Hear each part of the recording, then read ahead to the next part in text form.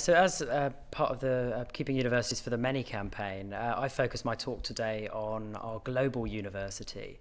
So, I talked a lot about some of the challenges that the higher education sector in the UK is facing, including a long history of, of challenges in terms of immigration policy, things like the NHS surcharge and the introduction of credibility interviews. Uh, I then went on to, to talk about how well placed I feel our institution is in terms of tackling some of those external challenges. For example, we've seen our international student numbers increase by over 80% in the last five years against a backdrop of a, a very turbulent external environment.